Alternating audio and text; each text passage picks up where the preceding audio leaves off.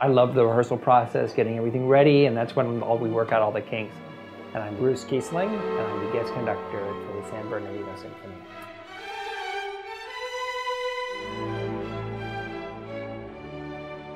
The process of just discovering the music and, and especially the little subtleties in it, uh, that, that for me is a, a great joy.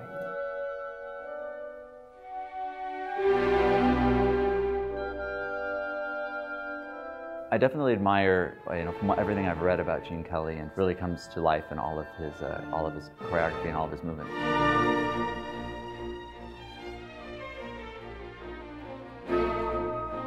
He always said to me, he said, the hardest thing is to create something that is both timeless and contemporary.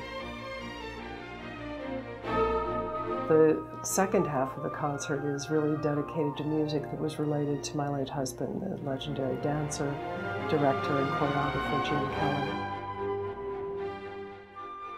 I try to warm up like some basic kind of scale stuff just to get the fingers, the blood moving in the fingers. So I just maybe spend 20 to 25 minutes kind of making sure I'm happy with my reeds and make sure my fingers are kind of where they need to be, and then I just let the positive energy take over.